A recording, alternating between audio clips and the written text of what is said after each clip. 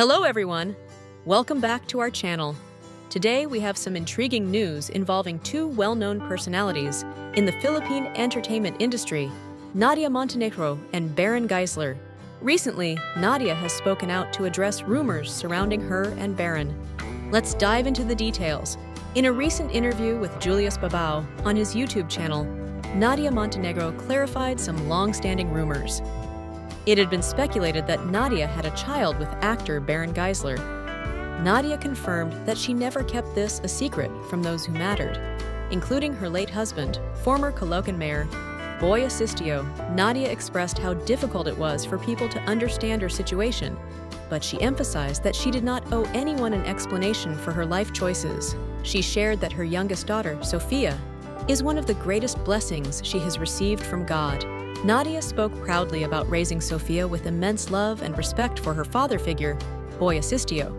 She stressed that no one outside their circle has the right to question their family dynamics. When asked by Julius Babao if Sophia was interested in having a relationship with her biological father, Baron Geisler, Nadia revealed that, as of now, Sophia is not interested.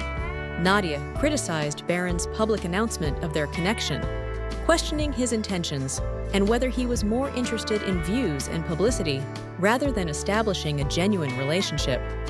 Baron Geisler had previously revealed in an interview with Ogie Diaz that he had an older daughter before Tali, his child with his wife, Jamie Evangelista, who was born in 2020. However, Baron did not disclose the identity of his first child's mother. This led to some netizens speculating and linking Nadia to Baron's revelation.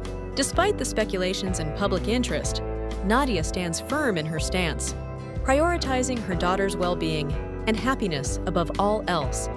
She remains unfazed by external opinions and remains focused on her family's peace and privacy. And that's the latest update on Nadia Montenegro and Baron Geisler. What do you think about this revelation? Let us know in the comments below.